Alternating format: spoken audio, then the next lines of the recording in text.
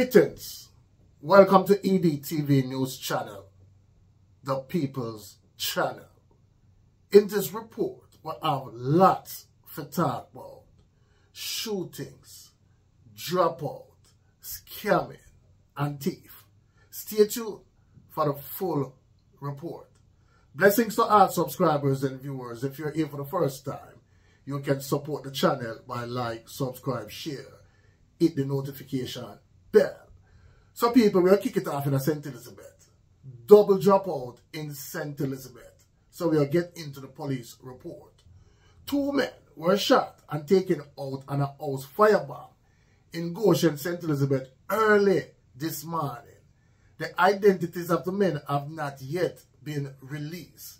Head of the St. Elizabeth Police Acting Superintendent Coleridge Minto, in confirming the incident, said detectives are now on the scene as well as the Major Investigation Division, MID. Preliminary reports are that earlier, about 1 a.m., residents heard loud explosion and saw smoke coming from a house. The police were called and the bodies of two men were found with what appeared to be gunshot wounds. They were subsequently pronounced dropped out.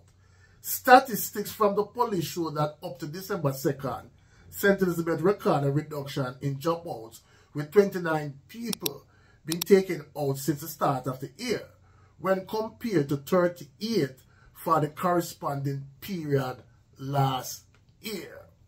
Now, people will move to Kingston, where ex-cop turned cabbie gunned down. So we'll get into the latest report.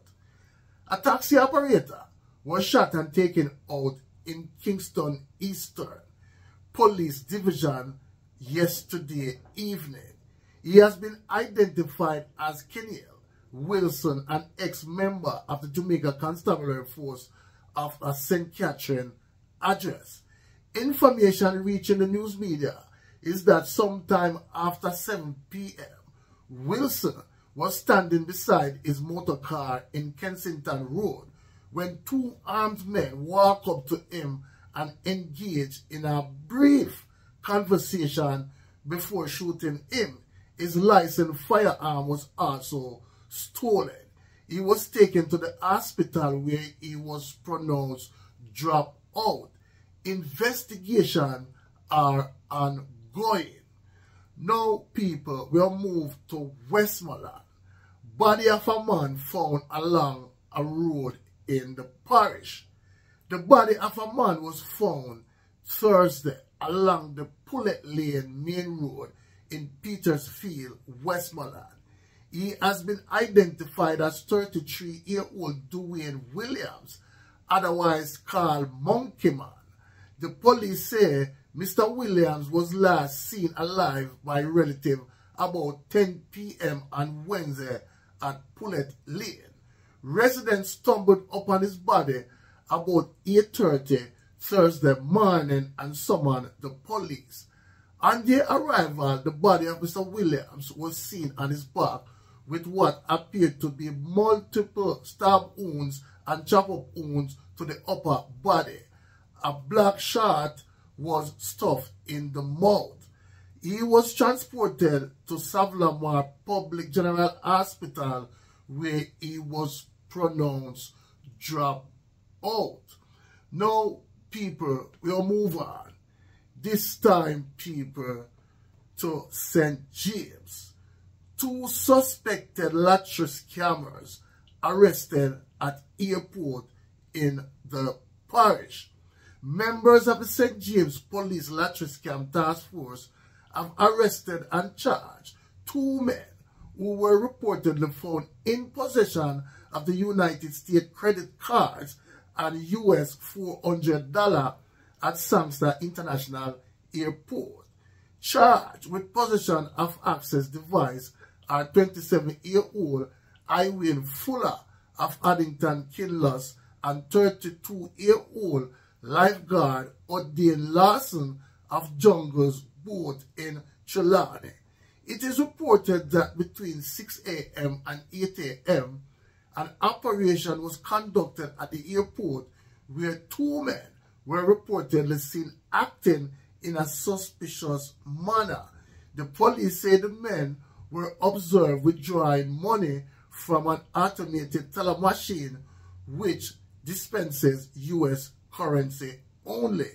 The two were accosted and searched and were found in possession of U.S. credit cards bearing the names of people living overseas.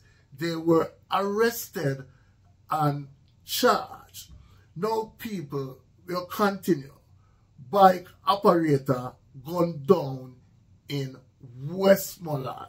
So we'll get into the police report. A bike taxi operator was shot and taken out and another injured at Pullet Lane, Petersfield in Westmoreland last night.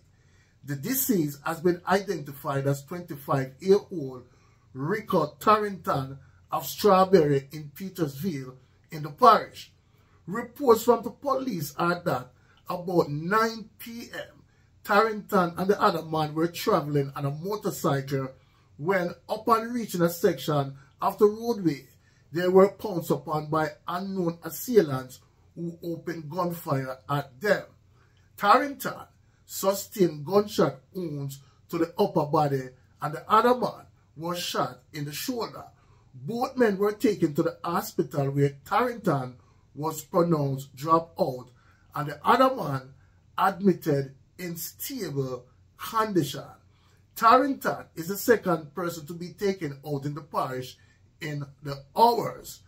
On Thursday morning, residents stumbled upon the body of 33-year-old Dwayne Williams, otherwise called Monkey Man, of Pullet Lane in the community. Reports from the police are that the body have multiple juke-up wounds. Now, people will move on. Last but not least, police search for a man who vandalized ABM in St. Ann. The police have confirmed that they are on the hunt for a man who vandalized an automated banking machine, ABM, in Brownstown, St. Ann on Thursday evening. The man was seen on camera inside a National Commercial Bank building throwing a garbage bin at the ABM. A section of the back door was also cracked as a result. It is not yet known if money was removed from the machine. The man, who is of slim build and light complexion, was clad in a grey and dark blue hooded jacket with moderate facial hair and slits in his eyebrows. The police are asking anyone with information that could assist them with identifying the man or his whereabouts to contact the Brownstown Police Station. So there you have it, people. Please leave your comments in the comment section and tell me what you think. One aim, one God, one destiny. Walk good, talk good, live good, blessings.